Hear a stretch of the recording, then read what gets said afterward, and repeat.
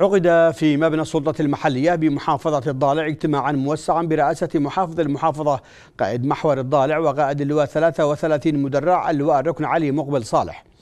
وفي اللقاء الذي ضم أعضاء السلطة القضائية والقطاعات الأمنية جرى استعراض تعزيز الجهود تعزيز الجهود وتنظيم العلاقة بين السلطات المحلية والقضائية وأجهزة الأمن بقطاعاتها المتعددة بما يسهم في كشف الجريمة ومكافحة الإرهاب وحفظ الأمن والاستقرار. كما ناقش اللقاء الصعوبات والعراقيل التي تواجه رؤساء النيابات والمحاكم ومستوى العلاقة التي تربط القضاء بأجهزة الضبط والاستدلالات وتنسيق العلاقة بينهما بما يضمن مكافحة الجريمة المنظمة وغير المنظمة بالطريقة المثلى.